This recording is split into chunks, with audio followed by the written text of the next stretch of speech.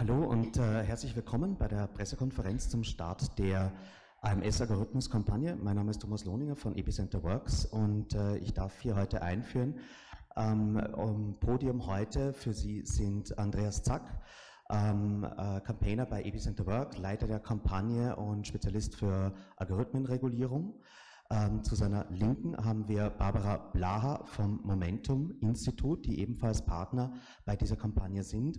Und äh, zu meiner Rechten Ben Wagner, ähm, den Leiter des Sustainable Computing Instituts an der Wirtschaftsuniversität Wien. Ähm, und damit übergebe ich das Wort an Andreas Zack. Danke vielmals.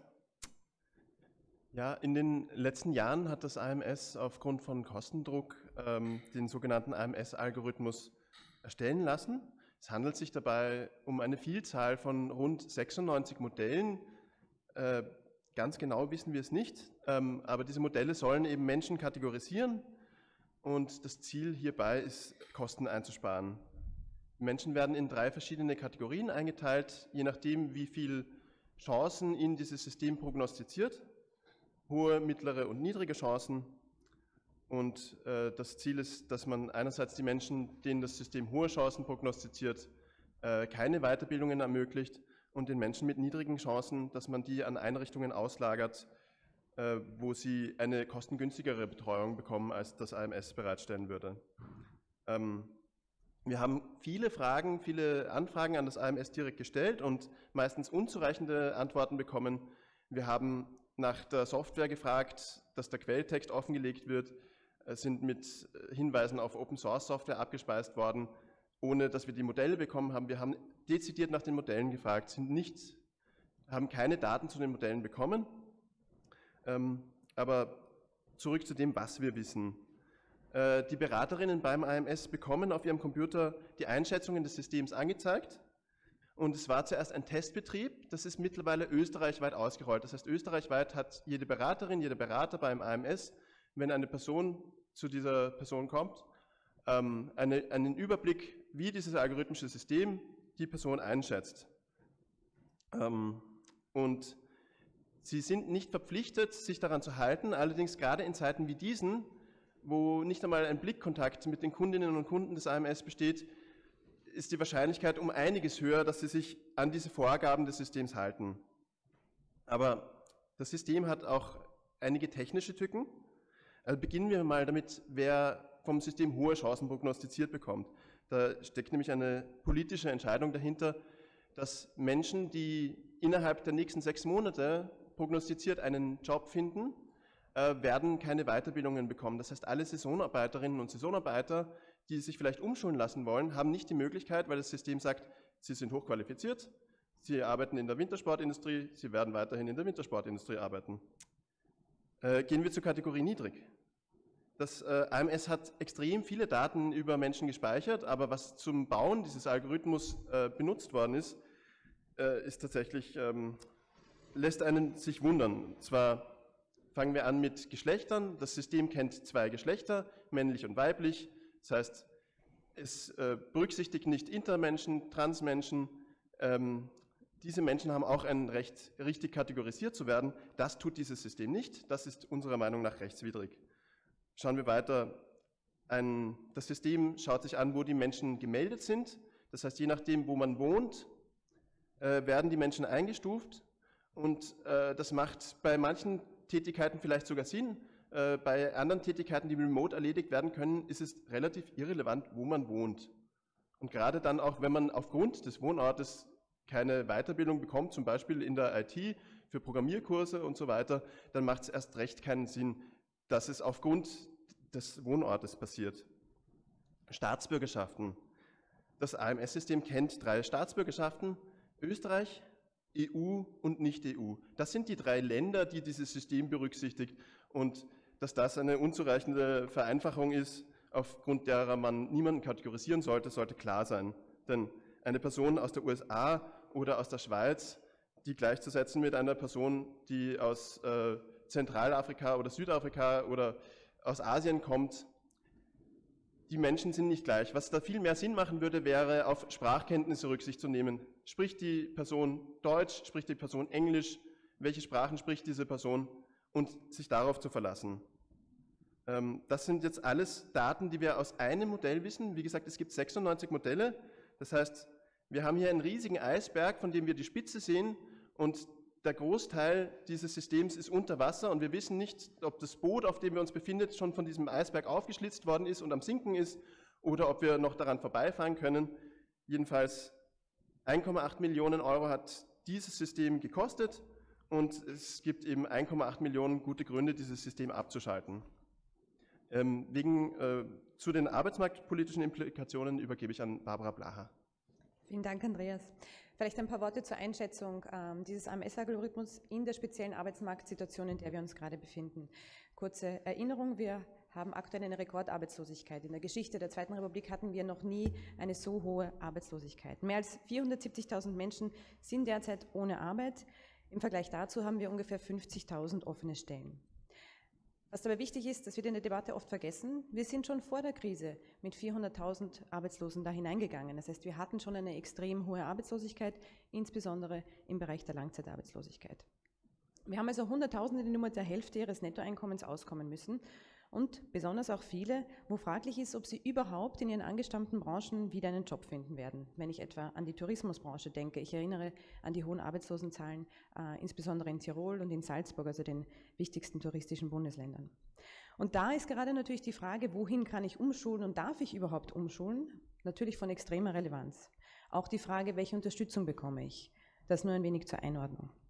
Andreas hat schon gesagt, woher kommt die Idee? Die Idee ist nicht, Arbeitslose unbedingt besser zu unterstützen. Die Idee ist auch nicht zwingend, dass man sie schneller wieder in Beschäftigung bringt, sondern das Hauptargument für diesen Algorithmus ist, wir müssen Kosten sparen. Das ist auch ähm, keine Annahme von uns. Das lässt sich in zahlreichen offiziellen Statements von AMS wie auch vom Ministerium durchaus nachlesen.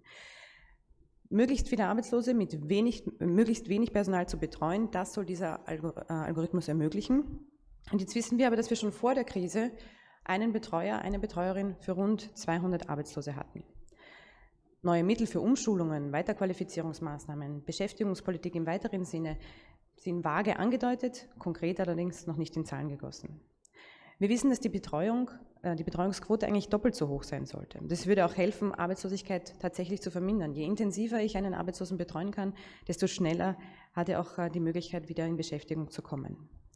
Warum das nicht passiert? Weil es politisch nicht opportun ist. Und mit dem Algorithmus versucht man nun etwas zu lösen, was eigentlich ein politisches Problem ist. Und da setzt man nun Technik ein. Und zwar auf Kosten der Arbeitslosen.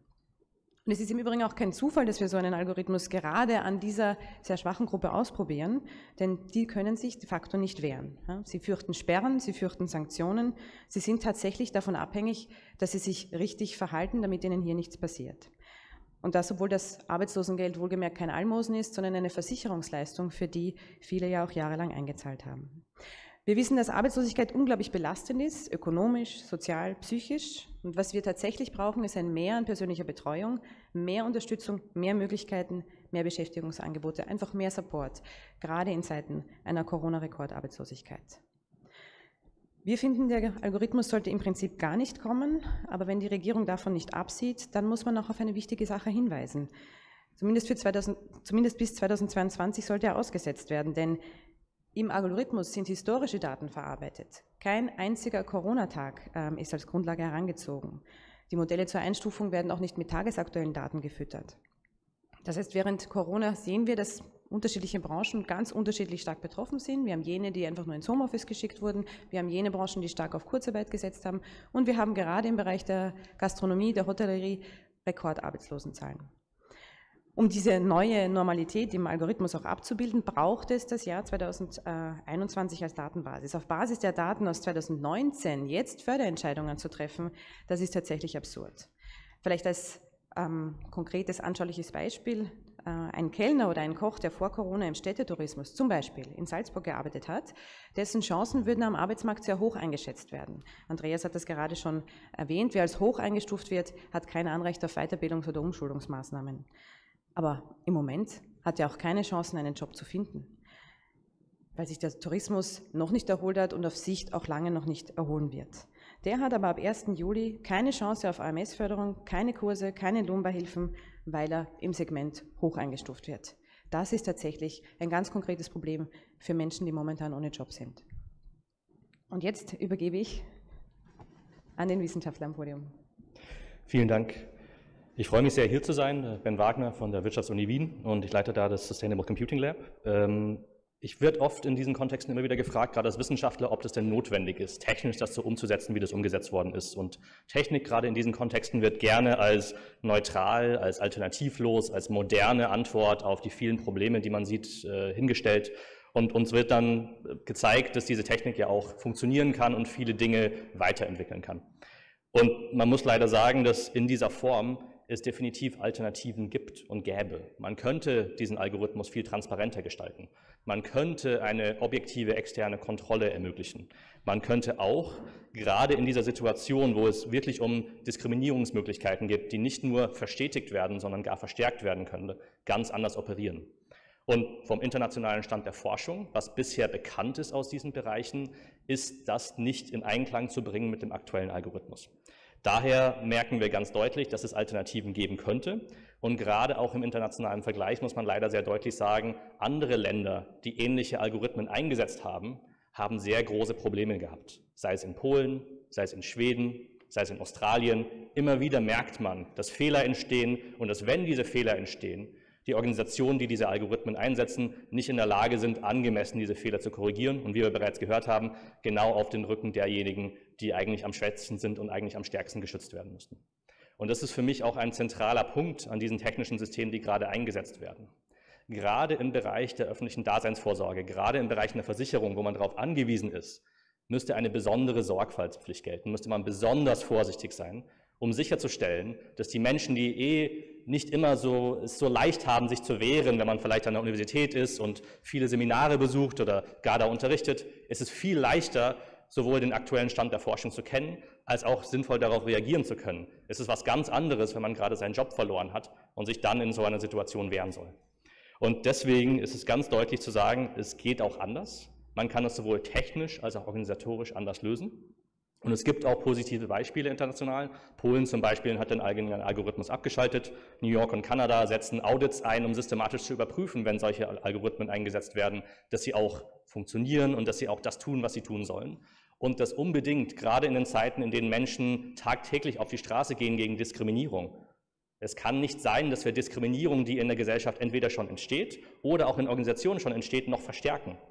Das sind Systeme, die man höllisch genau anschauen muss und auch furchtbar genau überprüfen muss, bevor man sie einsetzt und nicht erst dann überlegen, wenn sie eingesetzt worden sind, dass da vielleicht Dinge sein könnten, die man nicht gut findet.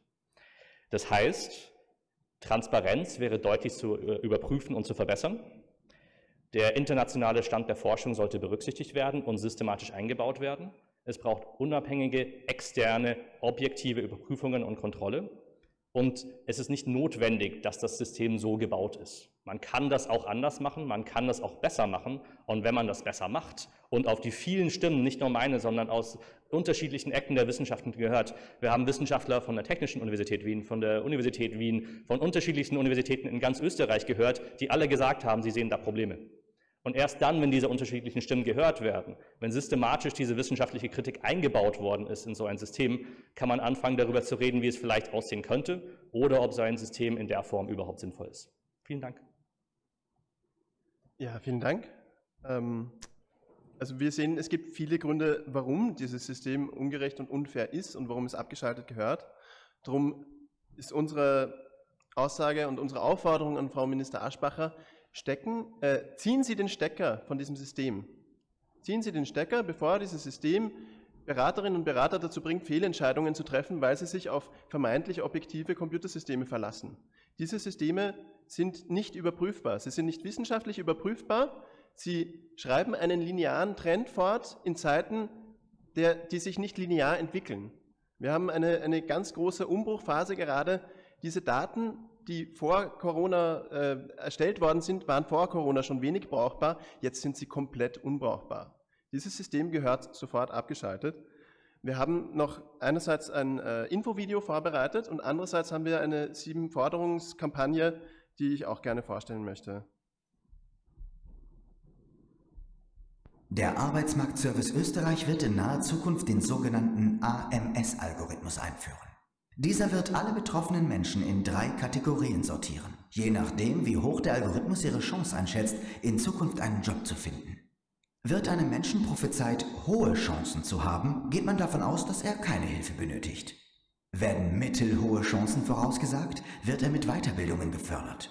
Schätzt der Computer, dass die Chancen niedrig sind, bekommt die betroffene Person keine Weiterbildungen, aber kostengünstige Förderangebote. Grundsätzlich ist es sehr problematisch, dass ein intransparent arbeitender Algorithmus über persönliche Schicksale entscheidet. Ein Algorithmus kann, im Gegensatz zu einem Menschen, Doppeldeutigkeiten und Unsicherheiten, die vor allem in schwierigen Zeiten immer Teil des Lebens sind, nicht in seine Entscheidungsfindung mit einbeziehen. Darüber hinaus birgt eine derart vereinfachte Kategorisierung, die für die Bearbeitung durch einen Computer nötig ist, ein sehr hohes Risiko der Diskriminierung. So wird zum Beispiel eine Person aus den USA, die möglicherweise perfektes Deutsch gelernt hat, trotzdem abgewertet. Denn das System unterscheidet nur zwischen Menschen aus Österreich, der EU und Nicht-EU. Lebenserfahrung und Sprachfähigkeit werden ignoriert. Und vergleicht der Algorithmus eine alleinstehende Mutter mit einem alleinstehenden Vater, so wird die Frau immer schlechter bewertet. Denn es wird immer davon ausgegangen, dass die Mutter durch ihre Betreuungspflicht beeinträchtigt ist. Ganz egal, ob sie eine Kinderbetreuung hat oder nicht. Natürlich soll die letzte Entscheidung vorerst noch bei den menschlichen Beraterinnen und Beratern liegen. Doch Polen hat 2014 ein ähnliches System eingeführt und dort haben sich die Mitarbeiterinnen und Mitarbeiter im Schnitt bei 200 Entscheidungen nur ein einziges Mal getraut, dem Computer zu widersprechen. Schalten wir deshalb gemeinsam dieses ungerechte System ab. Unterschreibe die Petition, teile dieses Video und hol dir alle Infos unter amsalgorithmus.at. Ja, zu, vielen Dank. Ähm, zu unseren Forderungen. Ähm, einerseits als allererstes fordern wir, dass Menschen und nicht Computer entscheiden sollen. Das heißt, Menschen sollen an, aufgrund von nachvollziehbaren, wirklich nachvollziehbaren Kriterien darüber entscheiden, ob Personen, arbeitslos gemeldete Menschen Zugang zu staatlichen Leistungen erhalten können. Sie sollen nicht die Entscheidungen des Computers nur abnicken. Und so wie es jetzt ausschaut, ist dieser Algorithmus abzulehnen und gehört abgeschaltet. Das ist Teil der ersten Forderung. Zweitens, Fähigkeiten fördern statt Schwächen bestrafen. Wir wollen, dass es mehr Möglichkeiten gibt, dass Menschen Bildung erhalten in diesem Land durch Förderungen, durch Ermöglichungen von Weiterbildung. Da wären auch Sachen denkbar wie Uni- oder, oder Hochschulstipendien äh, zu ermöglichen, die derzeit nicht möglich sind. Drittens, natürlich braucht es gerade mehr Ressourcen für das AMS und das auch für die Beraterinnen und Berater beim AMS, die sollen mehr Möglichkeiten erhalten, sich weiterzubilden, damit sie auch besser auf die Menschen eingehen können. Das Recht auf Information.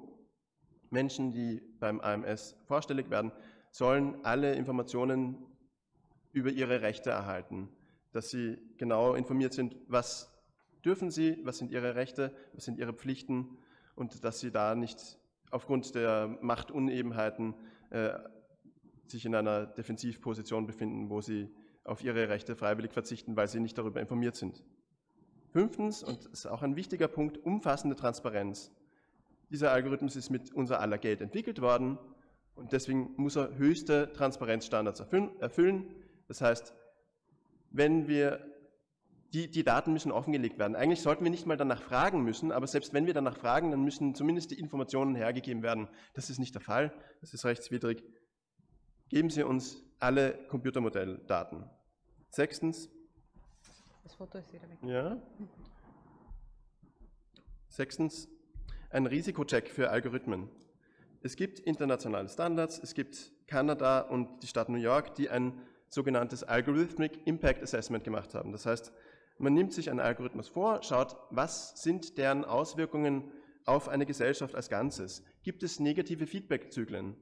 negativer Feedbackzyklus. Eine Person wird als, als ungeeignet für den Arbeitsmarkt eingestuft, bekommt dann nicht die Betreuung, die diese Person braucht, bleibt ungeeignet für den Arbeitsmarkt. Das System hat dadurch sich selbst bestätigt, weil es die Person so schlecht eingeordnet hat. Äh, und zu guter Letzt äh, freiwillige Teilnahme. Wenn dieser Algorithmus wirklich toll ist und wirklich gut ist, dann soll er dadurch überzeugen, dass er gut funktioniert. Das heißt, die Menschen sollen freiwillig daran teilnehmen, weil sie überzeugt sind, dass das System funktioniert, weil sie sich von den Vorzügen des Systems überzeugen und nicht, weil sie unter Druck gesetzt werden und gezwungen werden, sich so einem System zu unterwerfen. Das sind all unsere Forderungen. Wenn Sie diese Forderungen unterstützen wollen, bitte besuchen Sie amsalgorithmus.at und zeichnen die Petition. Sie haben dort auch die Möglichkeit, die Arbeitsministerin Aschbacher zu kontaktieren. Sie haben auch die Möglichkeit, einen Auszug über Ihre AMS-Daten dort zu bekommen, wobei ich darauf hinweisen muss, das AMS wird Ihnen nur eine Einstufung über den Algorithmus geben, wenn Sie gerade als arbeitslos gemeldet werden. Und wahrscheinlich kann Ihnen auch Ihre Beraterin, Ihr Berater diese Auskünfte erteilen. Genau, und die Petition kann dort auch nicht nur gelesen und unterschrieben, sondern auch geteilt werden. Und ich bin jetzt offen für Fragen aus dem Publikum. Ich bedanke mich für die Aufmerksamkeit. Vielen herzlichen Dank an das Podium. Gibt es Fragen hier aus dem Raum? Ja, das Mikro kommt zu Ihnen, wenn Sie eine Frage haben. Einfach aufzeigen.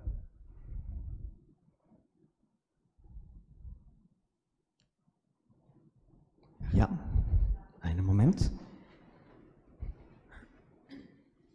Ja, bitte. Ich wollte euch fragen, wisst ihr, wann der jetzt äh, eingeführt wird, der AMS-Algorithmus? Das ist eine gute Frage. Ähm, die Antwort lautet schon zu Beginn des Jahres und gleichzeitig irgendwann. Denn dieses Testsystem ist österreichweit ausgerollt und ist auf allen äh, Computern des AMS für die Beraterinnen einsichtig. Das heißt, jetzt schon können sich die Beraterinnen und Berater anschauen, wie die Leute eingestuft werden und ihre Entscheidungen darauf basieren. Ähm, es hätten auch alle Beraterinnen und Berater darauf geschult werden sollen. Das ist wegen Corona ausgesetzt worden. Das heißt, wir haben die tolle Situation, die Menschen sind nicht geschult auf das System, aber sie, können, äh, aber sie bekommen die Daten angezeigt. Die verpflichtende Einführung ist jetzt aufgeschoben worden, wahrscheinlich auch wegen Corona. Äh, aber was, was ist der Unterschied zwischen verpflichtender Einführung, wenn die Daten schon angezeigt werden? Ja, nächste Frage. Ähm, eine Frage an äh, Herrn Wagner. Es gibt ja in der künstlichen Intelligenz äh, so vermehrt den Einsatz von künstlichen neuronalen Netzen, wo dann die Software quasi eine Blackbox ist, wo man nicht mehr nachvollziehen kann, was wirklich genau passiert, wie die Entscheidungen zustande kommen. Ist der AMS-Algorithmus so etwas oder ist das eher noch eine klassische, ein klassisches Computerprogramm, wo man die Entscheidungsfindung recht gut nachvollziehen kann? Es geht beim AMS-Algorithmus um ein klassisches statistisches Modell, bei dem bestimmte Parameter eingegeben werden und man versucht auf Grundlage dieser Parameter sagen zu können, wie wahrscheinlich ist es, dass ein Mensch wieder einen Job findet. Und da braucht es gar keine technischen Finessen, um Transparenz herzustellen. Das ist auch keine zwingende Blackbox, wo man irgendwie ähm, besonderes technisches Kunstwerk bräuchte, um da hineinschauen zu können oder erklären zu können, wie das stattfindet. Es ist ein ganz normales System, das heißt im Umkehrschluss auch, die Blackbox ist eine Entscheidung, die man getroffen hat. Und Transparenz herzustellen wäre sowohl technisch als auch organisatorisch wenig kompliziert. Moment. Mikrofon aus dem Weg zu Ihnen. Ähm, ja, meine Frage knüpft jetzt daran an. Es gibt eben verschiedene Merkmale, die in diesen Logarithmus offenbar einfließen. Äh, wissen Sie etwas darüber, wie Gewicht, also ob diese einzelnen Merkmale gewichtet sind und wenn, wie sie gewichtet sind? Also es gibt unseres Wissens nach ungefähr 96 Modelle, rechnerisch vielleicht sogar noch mehr. Ähm, wir haben von einem Modell, das unterscheidet zwischen hohen Chancen und mittleren Chancen, äh, die Gewichtung der Parameter und dieses Modell entscheidet nur dazwischen, wer ähm, hoch und wer äh, mittel eingestuft wird von dem System. Das heißt, die ganzen Fälle einer potenziellen Diskriminierung äh, im niedrigen Bereich, die wissen wir nicht. Da haben wir keine, da haben wir keine, keine Fälle der Gewichtung. Also wir kennen einen Bruchteil von den Daten und das ist eben äh, dem AMS anzulasten, dass uns diese Daten nicht gibt. Aber wir haben alle Daten einerseits, äh, wir haben alle Daten auf unserer Website äh, publiziert, die wir vom AMS erhalten haben. Das ist Epicenter Works. Wenn man da auf Aktuelles geht, kann man äh, nach dem Thema AMS suchen. Ähm, wird auch unter dem YouTube-Video eingeblendet sein, ein Link, wo man alle unsere Daten, die wir bekommen haben, einsehen kann. Also was, was bekannt ist, haben wir publiziert. Was nicht bekannt ist, bitte das AMS fragen. Wir würden uns freuen. Gut. Gibt es weitere Fragen aus dem Publikum? Ja. Also eine Forderung lautet, dass Menschen entscheiden sollen. Jetzt provokant gefragt, in der Vergangenheit haben Menschen entschieden, ist da alles gut gelaufen?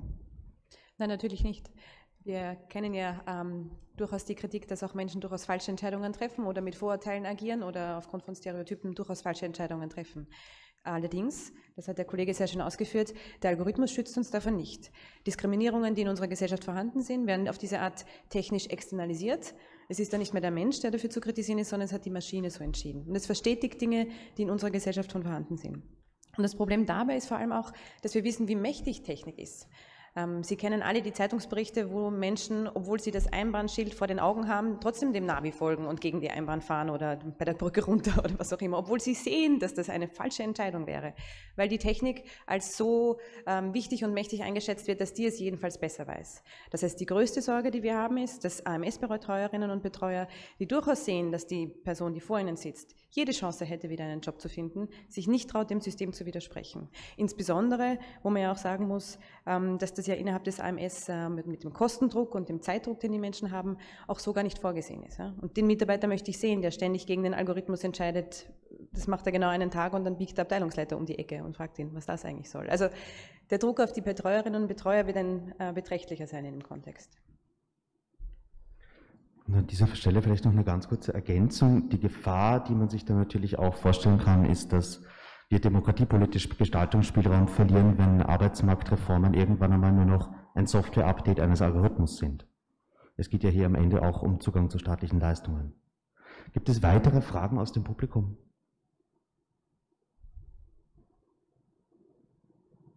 Nein? Okay. Gut. Dann sagen wir vielen Dank. Vielen Dank. Vielen Dank für Ihre Aufmerksamkeit. Ähm, danke fürs Kommen.